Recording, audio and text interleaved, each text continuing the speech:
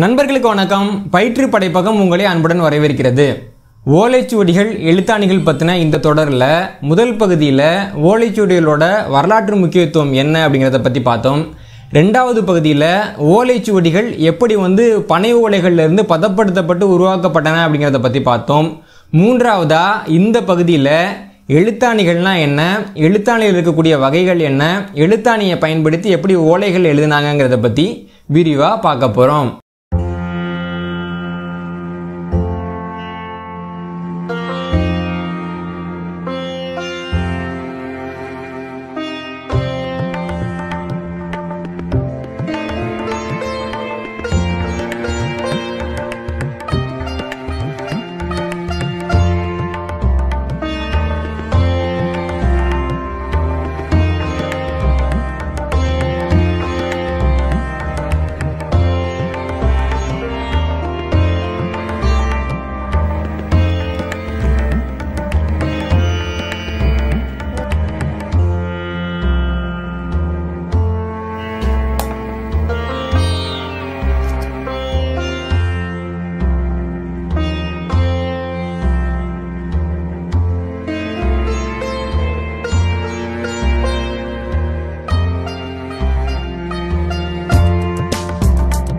எழுதுவதற்கு பயன்படுத்தப்பட்ட ஆணி அப்படின்னு எழுத்தாணிக்கான இலக்கணத்தை ரொம்ப எளிமையாக சொல்லிடலாம்.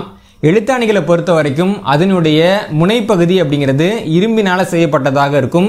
உடல் பகுதி அப்படிங்கிறது தங்கம் வெள்ளி பித்தளை செம்பு மரம் எலும்பு யானை தந்தம் அப்படின்னு பல்வேறு விதமான பொருட்களில் மக்களோட வசதியை பொறுத்து அவங்க செஞ்சுக்கிட்டாங்க.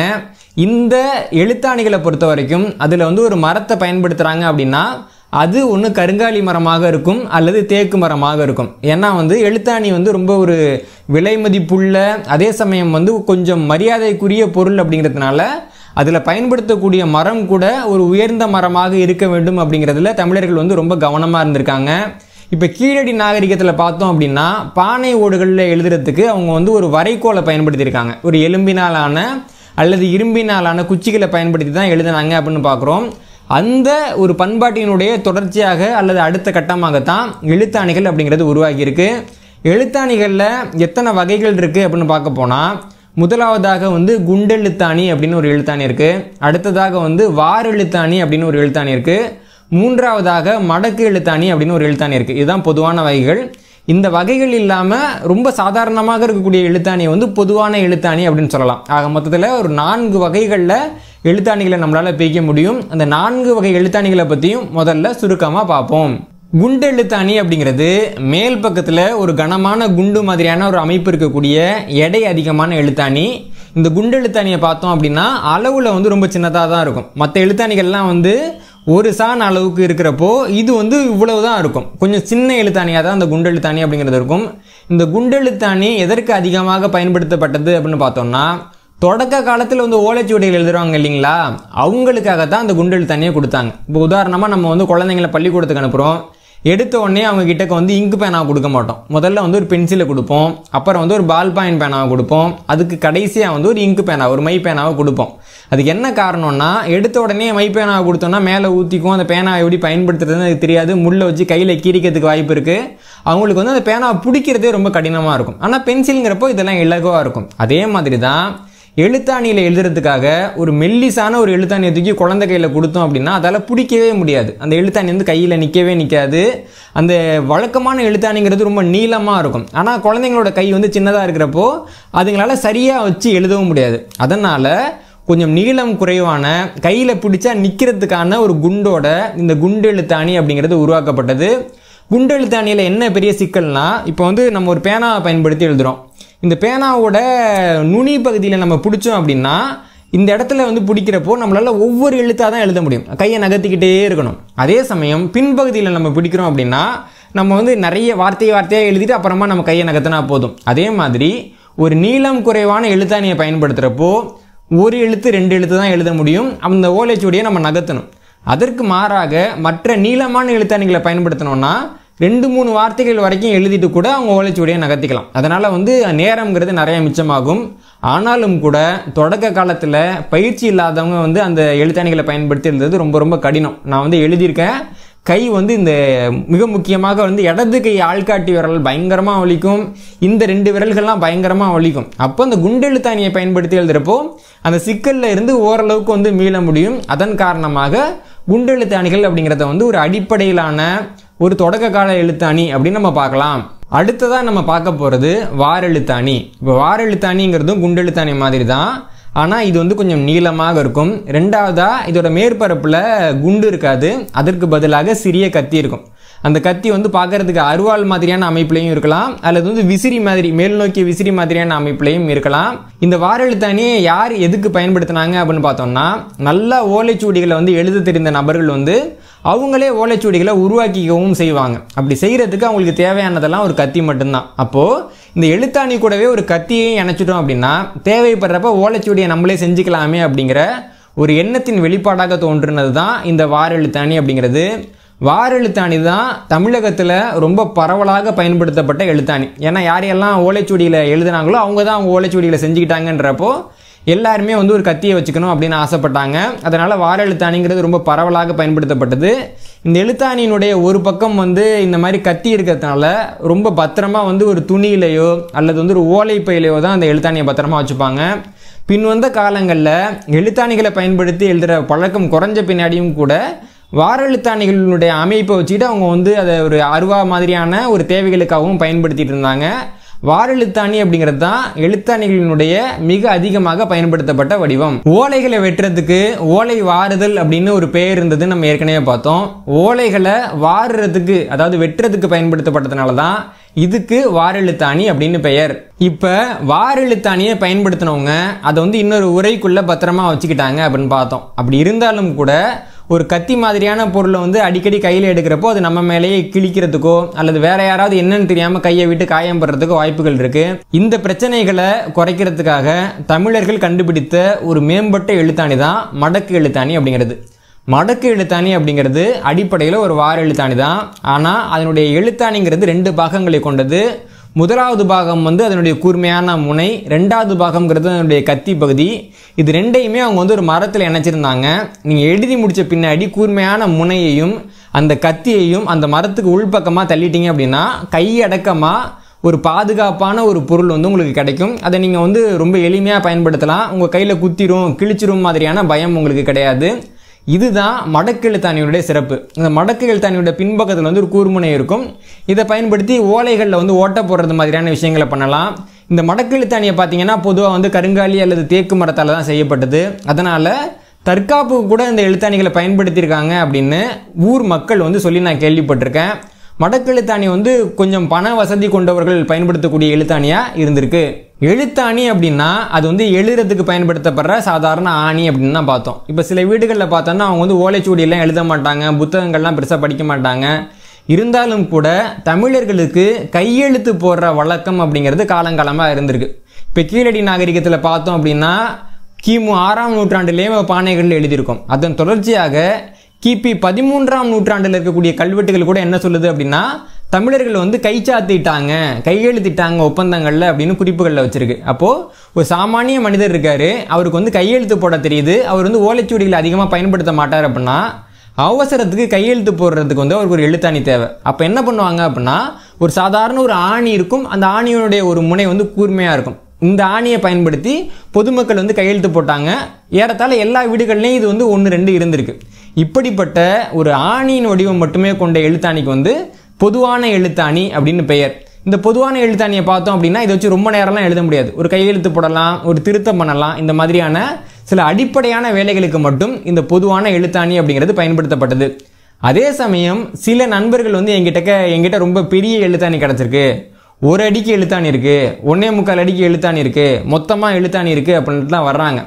எழுத்தாணியை பொறுத்த வரைக்கும் இந்த நான்கு அடிப்படை வடிவங்கள் தான் அடிப்படை வடிவங்கள். அதற்கு மாறாக ஒரு ஜானை விட ரொம்ப பெருசாக வந்து ஒரு எழுத்தாணி இருக்குன்னா அது எழுத்தாணியே கிடையாது. இப்போ உதாரணத்துக்கு சொல்லணும் அப்படின்னா அந்த காலத்தில் வந்து ஆண்கள் பெண்கள் ரெண்டு பாலினத்தவர்களுமே வந்து கொண்டை போட்டிருந்தாங்க. இப்போ ராஜராஜ சோழனுடைய ஓவியத்தில் சிலைகளில் பார்த்தோம் அப்படின்னா அவர் கொண்டை போட்டிருக்கதை நம்ம பார்க்கலாம். அப்படி ரெண்டு தரப்பினரும் பெருசு பெருசாக முடி வளர்த்து கொண்டை போடுறப்போ அந்த முடி வந்து சிக்கிக்கும். அப்போ அந்த முடியினுடைய சிக்க வாடுறதுக்காக சிக்குவாரி அல்லது சிடுக்குவாரி அப்படின்னு ஒரு கம்பியை வந்து வீட்டில் வச்சுருப்பாங்க. அந்த கம்பியை முடிக்குள்ளே விட்டு தான் அவங்க வந்து வாருவாங்க. அதில் வந்து ஒரே ஒரு கம்பி கொண்ட சிடுக்குவாரி இருக்குது ரெண்டு கம்பி கொண்ட சிடுக்குவாரி இருக்குது ஐந்து கம்பி கொண்ட சிடுக்குவாரி இருக்குது இப்படியாக ஒரு கம்பி கொண்ட சிடுக்குவாரி இருக்கும். அது வந்து வெங்கலத்தில் இருக்கும் அல்லது இரும்பில் இருக்கும். ஆனால் அதனுடைய நுனிப்பகுதி பார்த்தீங்கன்னா கூர்மையாக இருக்காது கையில் பிடிக்கிறதுக்கு வாகா இருக்காது நீளம் அதிகமாக இருக்கும். இந்த சிடுக்கு வாரி தான் சில பேர் எடுத்துகிட்டு வந்து பாருங்க நீளமான எழுத்தாணி அப்படின்னு சொல்கிறாங்க சில பேர் வந்து வேணும்னு விவரம் தெரிஞ்சு சிடுக்குவாரிகளை எழுத்தாணின்னு சொல்லி அதிக விலைக்கு விற்கிறதே நான் பார்த்துருக்கேன். எழுத்தாணிகள்னால் அது ஓரளவுக்கு ஒரு அடிப்படை அமைப்பில் தான் இருக்கும். இப்போ வந்து நம்ம பேனா பயன்படுத்துகிறோம் ஒரு ஸ்கெட்சை பயன்படுத்துகிறோம் இவ்வளோ பெரிய பேனா இவ்வளோ பெரிய ஸ்கெட்சுன்றதெல்லாம் நம்ம ரொம்ப நேரத்துக்கு பயன்படுத்த முடியாது. ஏன்னா நம்ம ஒரு குறிப்பிட்ட அமைப்பில் அதை பிடிச்சி அடிக்கடி எழுதி எழுதி பழகிட்டோம். அதனால் இந்த அடிப்படை அமைப்பிலிருந்து ரொம்ப விலகின எழுத்தாணிகளை நம்ம அதிகமாக பார்க்க முடியாது. ஓலைச்சுவடிகளை பற்றி பார்த்தோம் எழுத்தாணிகளை பற்றி பார்த்தோம். அடுத்ததா இந்த எழுத்தாணிகளை வச்சு ஓலைகளில் எப்படி எழுதுனாங்க அப்படின்னு பார்த்தோம்னா நீங்கள் வந்து இப்போ தாள்களில் வந்து பேனாவை பயன்படுத்தி எழுதிட்டு இருக்கீங்க அப்படின்னா உங்களுக்கு வந்து இந்த முறை ரொம்ப வித்தியாசமான முறையாக இருக்கும். என்ன காரணம்னா இப்போ வந்து ஒரு தாள் இருக்குது நம்ம வந்து அதில் எழுதுகிறோம் அப்படின்னா நம்ம வந்து நம்ம எழுதக்கூடிய கையை நகர்த்திக்கிட்டே இருக்கணும். இது வந்து இப்போ இருக்கிற முறை. ஆனால் எழுத்தாணியை பார்த்தீங்க அப்படின்னா அது வந்து இடது கையில் வந்து ஓலைச்சுவடியை பிடிச்சிக்கணும். பிடிச்சி இப்படி வச்சுப்போம். வச்சுக்கிட்டு வலது கையில் வந்து எழுத்தாணியை வந்து அந்த ஓலைச்சுவடி மேலே வச்சுப்போம். ஓலைச்சுவடியை தான் நீங்கள் நகர்த்தணுமே தவிர எழுத்தாணியை வந்து எழுதணுமே தவிர நகர்த்தக்கூடாது. இப்படி வந்து எழுத்தாணியை நகர்த்தி எழுத முடியாது. இப்படியே தான் எழுத்தாணி இருக்கும். ஓலை வந்து கையில் நகர்ந்துக்கிட்டே இருக்கும். அப்படி ஓலை நகர்றப்போ சில இடங்களில் வந்து அந்த ஆணி சிக்கிக்கிறப்போ நம்ம இந்த பலத்தை பயன்படுத்தி இந்த ஆணியை நகர்த்த முடியாது. ஏன்னா ஆணிக்கும் கைக்குமான தூரம் ரொம்ப அதிகம். நுட்பமான கோடுகளை வந்து கைபலத்தை பயன்படுத்தி நம்ம போட முடியாது. அப்போ என்ன பண்ணணும்னா இடது கை பெருவிரல் நகத்தில் வந்து ஒரு சின்ன ஒரு குழி மாதிரியான ஒரு பள்ளத்தை ஏற்படுத்திக்கணும். இந்த வி மாதிரியான ஒரு அமைப்பில் ஒரு பள்ளம் இருக்கும். அந்த பள்ளத்துக்குள்ளே அந்த எழுத்தாணியுடைய கூர்முனையை வச்சுக்கிட்டோம்னா அந்த எழுத்தாணியினுடைய நுட்பமான வளைவுகளை இந்த கட்டவரலை பயன்படுத்தி நம்ம எழுத முடியும். அதனால தான் எழுத்தாணியை பயன்படுத்தி எழுதுகிறவங்களுக்கு இந்த கட்டவரல் வந்து பயங்கரமாக வலிக்கும் அப்படின்னு நான் சொன்னது. அப்போ இந்த விரலினுடைய அசைவில் தான் பெரும்பான்மையான எழுத்தாணி எழுத்துக்கள் அப்படிங்கிறது எழுதப்பட்டன. இந்த எழுத்தாணியினுடைய அமைப்பை நம்ம புரிஞ்சுக்கணும் அப்படின்னா இப்போ வந்து டைப்ரைட்டரில் நம்ம டைப் பண்ணுறோன்னா டைப்ரைட்டில் இருக்கக்கூடிய அந்த காகிதம் தான் நகரும். நம்ம எழுதக்கூடிய அந்த முனைங்கிறது நகராது. அதே மாதிரி எழுத்தாணியை பயன்படுத்தி ஓலையில் எழுதுகிறோன்னா அந்த ஓலை தான் நகர்த்தப்படுமே தவிர இந்த ஓலையில் இருக்கக்கூடிய எழுத்தாணி நகர்த்தப்பட மாட்டாது. இந்த முறையை கேட்குறப்போ உங்களுக்கு ரொம்ப கடினமான ஒரு முறையாக தோணலாம். ஆனால் அது வந்து ரொம்ப கடினமான முறை அப்படின்னு நம்ம சொல்ல முடியாது. ஏன்னா ரொம்ப பயன்பாட்டில் இருக்கிறப்போ ஒரு ஓலையில் ஒரு நாலரை சென்டிமீட்டர் நாலு சென்டிமீட்டர் வந்து இருக்கக்கூடிய ஒரு ஓலையில் வந்து அறுபது வரிகள் வரைக்கும் எழுதப்பட்ட ஓலைச்சுவடிகள் நான் பார்த்துருக்கேன். ரொம்ப பழைய காலத்தில் வந்து அவ்வளவு நுட்பமாக மக்கள் எழுதியிருக்காங்க. ஓலைச்சுவடிகளில் எழுதுறத ஒரு கலையாக பயின்ற நபர்களை தான் தமிழ் சமூகம் முதன் முதலாக எழுத்தாளர்கள் அப்படின்னு கூப்பிட்டாங்க. இன்னைக்கு எழுத்தாளருங்கிற பேர் வந்து நம்ம வேற வகையில் பயன்படுத்திட்டு இருக்கோம். அந்த அளவுக்கு ஓலைச்சுவடியில் எழுதுறத வந்து ஒரு கலையாக பயின்ற சமூகமாக நமது சமூகம் இருந்திருக்கு. அதுலேயும் கேரள மாநிலத்தில் இருக்கக்கூடிய மக்களை பார்த்தோம் அப்படின்னா அவங்க நம்மள மாதிரி இந்த இடத்துல வச்சு எழுத்தாணி எழுத மாட்டாங்க. அதற்கு மாறாக இங்கே வச்சு எழுதுவாங்க எழுத்தாணி. இப்படி வச்சு தான் அவங்க எழுதுவாங்க. அதாவது ஓலைச்சுவடியில் வந்து கீழ் கோடு இருக்காது இல்லைங்களா? அந்த கோட்டுக்கு பதிலாக கட்டவரில் பயன்படுத்தி அவங்க எழுதுவாங்க. அதே சமயம் ஒரிசாவில் இருக்கக்கூடிய மக்களை பார்த்தோம் அப்படின்னா அவங்க இந்த கட்டவரில் பயன்படுத்தவே மாட்டாங்க. ஆனால் அதே சமயம் ஒரிசாவில் இருக்கக்கூடிய சுவடிகளில் அவங்களால ஓவியங்களையே வரைய முடிஞ்சிருக்கு. ஏன்னா அவங்க வந்து இந்த கைக்கான பயிற்சியை வந்து ரொம்ப கடுமையான பயிற்சியாக எடுத்துப்பாங்க. ஓவியங்கள் வரைவாங்க படங்கள் வரைவாங்க. அப்படியாக ரொம்ப வலது கை சார்ந்த ஒரு முறையாக அவங்க வந்து இந்த எழுத்தாணியில் எழுதுகிற முறைங்கிறத வச்சுருக்காங்க. இந்த மாதிரி இப்போ நமக்கு பார்க்குறதுக்கு ரொம்ப கடினமான முறையாக இருந்தாலும் பயன்படுத்தப்பட்ட காலகட்டத்தில் ரொம்ப இலகுவான ரொம்ப நுட்பமான முறையாகத்தான் இந்த எழுத்தாணியை பயன்படுத்துகிற முறை அப்படிங்கிறது இருந்திருக்கு. இப்போ ஓலைச்சுவடியை பற்றி பார்த்துட்டோம். எழுத்தாணியை பற்றி பார்த்துட்டோம். ஓலைச்சுவடியில் எழுத்தாணியை வச்சு எப்படி எழுதுவாங்கன்னு பார்த்துட்டோம். இப்போ நான் எழுதி முடிச்சிட்டேன். முடித்த உடனே அந்த ஓலைச்சுவடி அப்படியே வச்சிட்டோம்னா அது பத்திரமா இருக்குமா அப்படின்னு பார்த்தா இருக்காது. ஏன்னா ஓலைச்சுவடி ஏற்கனவே பதப்படுத்தப்பட்ட ஒரு ஓலைச்சுவடி. அந்த ஓலைச்சுவடியை நான் கீறிட்டேன். அப்போது அந்த கீறல்கள் மூலமாக வெளியில் இருக்கக்கூடிய காற்று பாக்டீரியாக்கள் அல்லது ஈரப்பதம் இதெல்லாம் ஓலைச்சுவடிக்கு உள்ளே போகிறதுக்கான வாய்ப்புகள் ரொம்ப அதிகமாக இருக்குது அதனால் எழுதி முடிச்சதுக்கப்புறம் ஓலைச்சுவடி அப்படியே வச்சுட்டோம் அப்படின்னா அந்த ஓலைச்சுவடி சீக்கிரமாக வந்து கெட்டு போகிறதுக்கான வாய்ப்புகள் இருக்குது அப்போது மூன்றாவதாக ஒரு விஷயத்த பண்ணுவாங்க. என்னென்னா இப்படி எழுதி முடிக்கப்பட்ட ஓலைச்சுவடிகளை எடுத்து அது மேலே மை மாதிரியான ஏதாவது ஒரு பொருளை பூசி அப்படியாக நம்ம எழுதி உருவாக்கின அந்த கீறல்களை அடைப்பாங்க. இதற்கு மையாடல் அப்படின்னு பேர். இந்த மையாடல் பண்ண ஓலைச்சுவடிகள் மட்டும்தான் ரொம்ப காலகட்டத்துக்கு ரொம்ப பத்திரமா இருக்கும். இந்த மையாடலுக்கான மை அப்படிங்கிறது பல படிநிலைகளில் உருவாக்கப்படுது. இப்போ ஒரு காலகட்டத்தில் பார்த்தோன்னா நம்ம எல்லாருமே வந்து ஸ்லேட்டு பயன்படுத்திகிட்டு இருந்தோம். ஸ்லேட்டில் எழுதிக்கிட்டு இருக்கப்போ ஒரு தடவை அந்த ஸ்லேட்டு கீழே விழுந்து லேசாக விரிசல் விட்டுட்டு அப்படின்னா ஸ்லேட்டு முழுக்க கருப்பாக இருக்கும். அந்த விரிசல் விட்ட இடம் மட்டும் அந்த உள்ளே இருக்கக்கூடிய அந்த வண்ணம் வெளியில் தெரிகிறதுனால ஒரு மாதிரி வித்தியாசமாக தெரியும். அப்போ நம்ம என்ன பண்ணுவோம் அப்படின்னா வீட்டில் இருக்க பெரியவங்க கிட்ட கேட்போம் இந்த மாதிரி ஸ்லேட்டு விரிசல் விட்டுடுன்னு. அவங்க என்ன சொல்லுவாங்கன்னா கோவை இலை இருக்கு இல்லையா அந்த கோவை இலையை கொண்டு வந்து அரைச்சி அது கூட கறியை கலந்து ஸ்லேட்டில் பூசுங்க ஸ்லேட்டு பளபளன்னு ஆகிடும்னு சொல்லுவாங்க. நானும் பண்ணியிருக்கேன் என்னை மாதிரியான பல்வேறு நபர்களும் இதை பண்ணியிருப்பீங்க அப்படி செய்கிறப்ப என்ன ஆகும்னா அந்த ஸ்லேட்டில் இருந்த மற்ற வண்ணங்கள்லாம் போய் ஒரு முழுமையான கருமையான ஒரு ஸ்லேட்டு நமக்கு கிடைக்கும். அதே மாதிரி இப்போ ஓலைச்சுவடிகளில் பூசுறதுக்கான அந்த மையை பார்த்தோம் அப்படின்னா அதுலேயும் கோவை இலையை தான் முதன்மையாக பயன்படுத்தியிருக்காங்க. கோவை இலையை எடுத்துக்கிட்டு அது கூட விளக்கு கறியை கலந்து அதை வந்து ஓலைச்சுவடிகளில் பூசியிருக்காங்க. விளக்கு கறினா என்னென்னா இப்போ வந்து நல்லெண்ணெய் விளக்கை வீட்டில் ஏற்றுறோம் இல்லைங்களா? அந்த திரியில் வேறு சில மூலிகை பொருட்களை கலந்துட்டா அதிகமாக புகை வரும். அப்போ அந்த அந்த புகையை இந்த விளக்குக்கு மேலே இன்னொரு தட்டை கவுத்து வச்சிட்டோன்னா அந்த தட்டில் அந்த சுத்தமான புகை போய் படியும். அந்த புகையை வலிச்சு எடுத்தோன்னா கிடைக்கிற கறி இருக்கு இல்லைங்களா? அதுக்கு தான் விளக்கு கறி அப்படின்னு பேர். இந்த விளக்கு கறியை வந்து இவங்க கோவை இலை கூட கலந்து ஓலைச்சுவடிகளை பூசியிருக்காங்க. அப்படி பூசப்பட்ட ஓலைச்சுவடிகளை பார்த்தோம் அப்படின்னா அந்த எழுத்துக்கள் வந்து கருப்பாக இருக்கும். இந்த ஓலைச்சுவடிகள் வந்து ரொம்ப காலத்துக்கு தாக்கு பிடித்தன இது இல்லாமல் இன்னும் பல வகையான பொருட்களையும் ஓலைச்சுவடிகள் மேலே பூசியிருக்காங்க உதாரணமாக வந்து வசம்பை வந்து அரைச்சி பூசுறது அல்லது மாமரத்து இலையை கொளுத்தி அதை கொண்டு வந்து பூசுறது இந்த மாதிரியான நூற்றுக்கும் மேற்பட்ட கறி பொருட்களை பயன்படுத்தியிருக்காங்க இது போக சில செந்தூரத்தை பூசுறதையும் நான் கேள்விப்பட்டிருக்கேன். பல்வேறு பொருட்களை பூசி இந்த கீறல்களை மறைச்சு இந்த ஓலைச்சுவடிகளை பாதுகாக்கிற வேலையை மக்கள் பார்த்துருக்காங்க. இப்படியாக பதப்படுத்தப்பட்ட ஓலைச்சுவடிகள் தான் ஒரு முந்நூறுலேருந்து நானூறு ஆண்டுகள் வரைக்கும் வந்திருக்கு. ஒரு நானூறு ஆண்டுகள் தாண்டின பின்னாடி திரும்பவும் இதே மாதிரி எடுத்து ஒரு மைய பூசி தொடச்சி வைக்கிறப்போ அதனுடைய ஆயுட்காலம் அப்படிங்கிறது அதிகரிப்பதற்கான வாய்ப்புகள் வந்து அதிகரிக்கப்பட்டிருக்கு. இப்படியாக உருவாக்கப்பட்ட ஓலைச்சுவடிகளை ஒரு மரப்பெட்டிக்குள்ளேயோ அல்லது இரும்பு பெட்டிக்குள்ளேயோ வைப்பாங்க. வைக்கிறதுக்கு முன்னாடி இந்த ஓலைச்சுவடி மேலே ஒரு துணியை சுற்றி தான் அதுக்குள்ளே வைப்பாங்க. அப்போ தான் அதனுடைய ஆயுட்காலம் அப்படிங்கிறது இன்னும் அதிகரிக்கும். யார் வீட்லையாவது பூச்சி இருக்கிறதுக்கு அதிகமாக வாய்ப்பு இருந்தது அப்படின்னா செஞ்சாந்து இருக்கும் இல்லைங்களா? சகப்பாக இருக்கக்கூடிய குழம்பு. நம்ம வந்து சில வீடுகளில் பார்த்தோன்னா வந்து அந்த பட்டை பட்டையாக அடிச்சிருப்பாங்க. வீடுகள் கோயில்கள் எல்லாம். அந்த சாந்தை கொண்டு வந்து இது மேலே வந்து அடிக்கிறப்போ உள்ள பூச்சிகள் வர்றதுக்கான வாய்ப்பு குறையும். ஏன்னா சிகப்பு நிறம்ங்கிறது பூச்சிகளுக்கு வந்து பிடிக்காது. அதனால தான் பைண்டிங் பண்ணுறப்ப கூட பின்னாடி வந்து சிகப்பு நிற பட்டையை வந்து அதிகமாக பயன்படுத்துவாங்க. பூச்சிகளுக்கு ரொம்ப பிடிக்காத நிறங்களில் ஒன்று சிவப்பு அப்படின்னு நமது முன்னோர்கள் கருதுனாங்க. அப்படியாக சிகப்பு சாந்து பூசி அந்த பெட்டிகள் பாதுகாக்கப்பட்டது. இப்படி பல்வேறு படிநிலையிலான பாதுகாப்பு ஏற்பாடுகள் பண்ணப்பட்டதுனால தான் ஓலைச்சுவடிகளை வந்து நம்மளால் பெரிய அளவில் பயன்படுத்த முடிந்தது. சில பேர் கேட்கலாம் இவ்வளவு நாகரிகம் பெற்றவங்க இப்படி கல்வெட்டுகள் வச்சுருந்தவங்க பட்டயங்கள் வச்சுருந்தவங்க ஓலைச்சுவடியில் ஏன் பயன்படுத்தினாங்க? கல்வெட்டுலேயும் பட்டயத்திலையுமே எல்லாத்தையும் எழுதியிருக்கலாமே அப்படின்னா பட்டயங்களில் அதாவது வந்து உலோக தகடுகளில் எழுதப்பட்ட திருக்குறள் கூட நமக்கு கிடைச்சிருக்குது. அப்படியும் நாம் எழுதியிருக்கிறோம். ஆனால் சில அறிவற்றவர்கள் சில குறு மதி கொண்டவர்கள் என்ன பண்ணுவாங்கன்னா ஒரு செய்தியில் இருக்கக்கூடிய அந்த பொருளை புரிஞ்சிக்காம அந்த உலோகத்தினுடைய மதிப்பை பார்த்துட்டு அதை கொண்டு போய் அடக்கி போட்டிருக்காங்க உருக்கியிருக்காங்க அழிச்சிருக்காங்க. இதன் காரணமாகத்தான் நம்முடைய செப்பு பட்டயங்கள் இன்றைக்கி பெரிய அளவில் கிடைக்கல. அதற்கு மாற்றாக ஓலைச்சுவடி அப்படின்னு வர்றப்போ ஒரு அலட்சியமாவது வீட்டில் ஒரு மூலையில் போட்டு வச்சுருந்துருக்காங்க. அதனால தான் ஓலைச்சுவடிகள் ஓரளவுக்காவது நமக்கு கிடச்சிருக்கு. தமிழக வரலாறுல அதிகமான மக்கள் எழுத்தறிவு பெற்றாங்கன்னா எல்லாருக்குமே வந்து எழுது பொருள் தேவை. அப்போ எல்லாருக்குமே வந்து நம்ம வந்து செப்பு பட்டயங்களையோ கல்வெட்டுகளையோ உருவாக்க முடியாது. அப்போ அனைவருக்குமான ஒரு இது எழுது பொருளாக ஓலைச்சுவடி அப்படிங்கிறது இருந்திருக்கு.